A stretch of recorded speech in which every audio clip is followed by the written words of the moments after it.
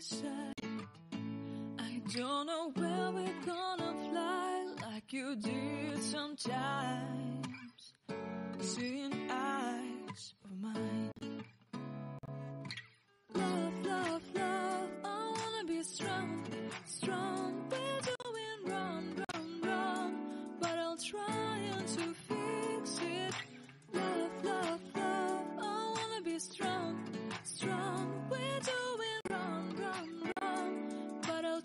Change it, change it.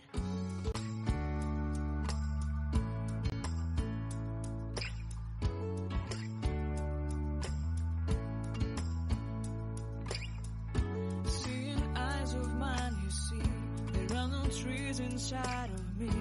In this desert, I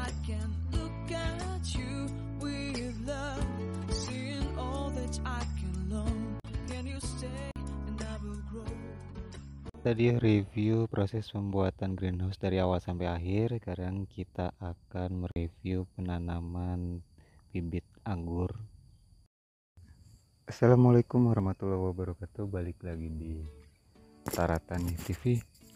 Kali ini saya telah menyelesaikan penanaman bibit anggur berbagai jenis ada New Sign Muscat, ada Tamaki, ada Nina, ada Jupiter, kemudian ada Academic, kemudian ada Harold. Ada enam varietas yang ditanam di greenhouse ini.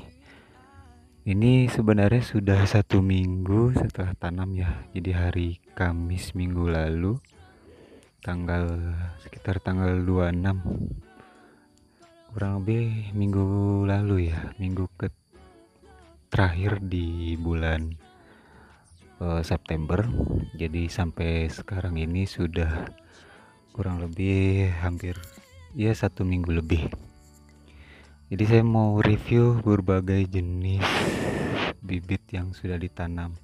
Ini beragam harganya ya, mulai dari 150 kemudian 200 ada yang dua setengah juta kita akan lanjutkan untuk mereview satu-satu benih atau bibit yang sudah ditanam di sini.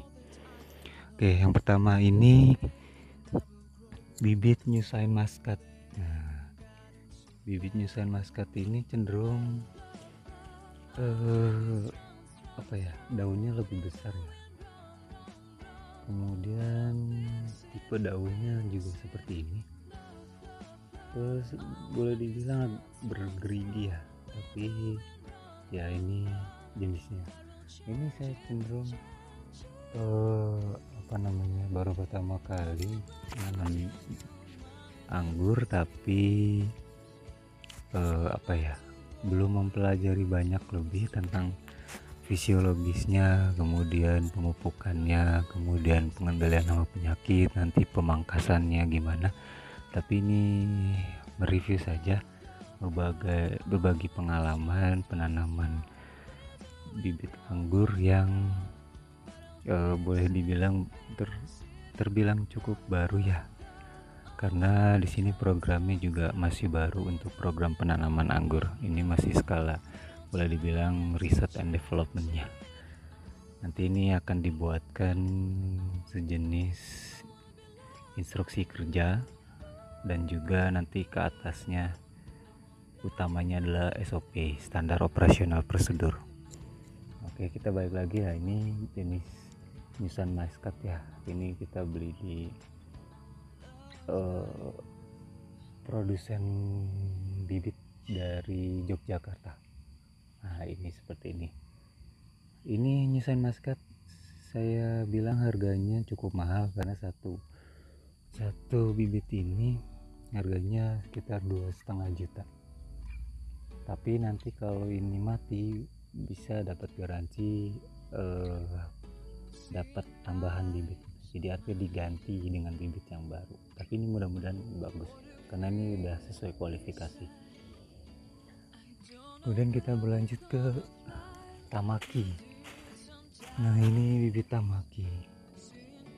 Ini tamaki hijau dia cenderung uh, daunnya itu lebih pekat hijau pekat ya hampir sama bergeriginya dengan uh, anggur Yusan Muscat tapi eh, ini ya mungkin ada kelebihan atau pestisida terlalu berlebih jadi sulit tapi nggak masih normal masih dibilang normal.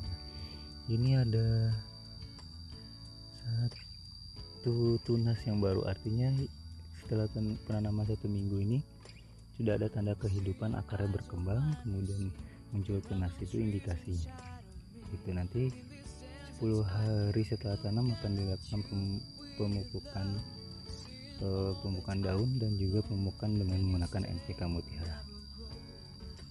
Seperti itu. Nah ini jenis eh, bibit anggur minel minel ini cenderung lebih apa ya lebih ruasnya itu lebih pendek jaraknya ya.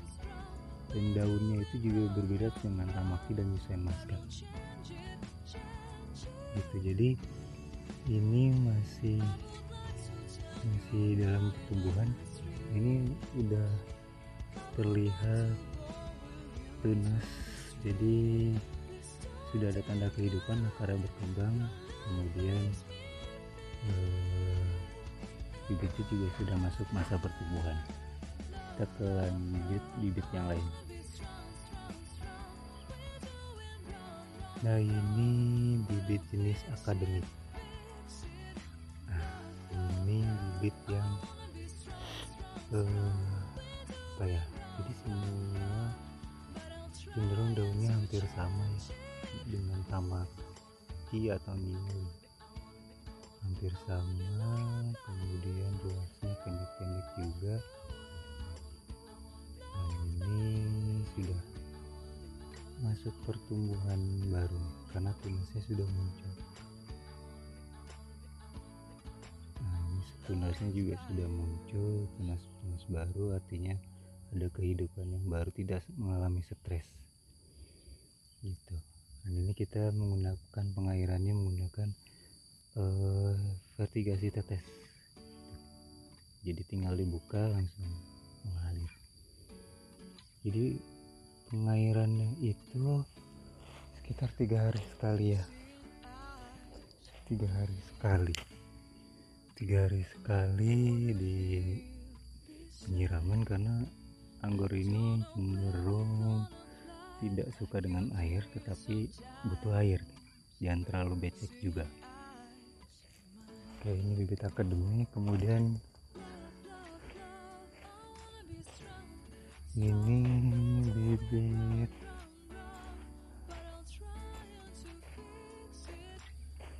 nah ini bibit harol bibit harol bibit harol ini juga sama ya semua masuk masa pertumbuhannya dengan baik.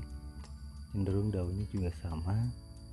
Cuma kayaknya kekurangan pupuk nutrisi.